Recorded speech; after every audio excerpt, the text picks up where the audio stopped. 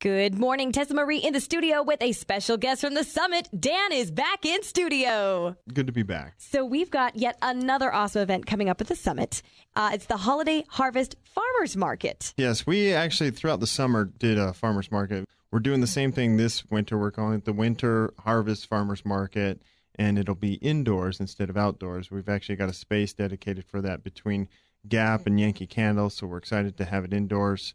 Should be lots of great produce, lots of things that would go well at, at any party you're hosting. Yeah, we're talking about the squash, the apples, the corn, local honey, even actually holiday flowers too. Moana Nursery is bringing poinsettias. Yes, they'll have a few wreaths and a few other things as well. So if you're looking to up your decor for a party, it's great to check it out. And that'll be going on December 7th and 8th, so Saturday and Sunday, starting at 10 a.m. and all the way till 5 p.m. Uh, but during this time frame, should you want to wander around the summit, you'll want to be on the lookout for Santa Claus, I hear. Yeah, we're doing a special thing for our Facebook page where Santa will be roaming our walkways and if you find him between the hours of 12:30 and 1:30, take a photo with him and if you upload it to our Facebook page, you'll be eligible to win a gift card. So keep an eye out for the man in red and white. Always very fun. Now, one thing too I want to add, the night before, Friday the 6th, there's actually a preview party going on. Yeah, it's like a special preview to the market that we'll have appetizers, refreshment, we'll have some wine there,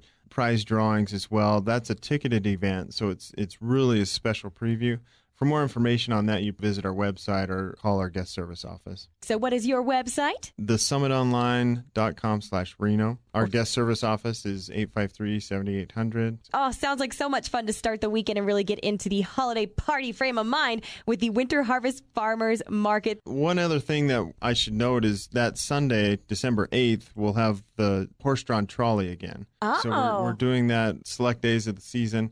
The trolley will be at the center that day from noon to 6 p.m. So right during that time period of the farmer's market. And that trolley ride is this horse-drawn carriage, two bucks to ride, and the proceeds still going to the Children's Miracle Network. Correct, yes. So a great way to get around and finish up that holiday shopping after you get all your stuff at the farmer's market.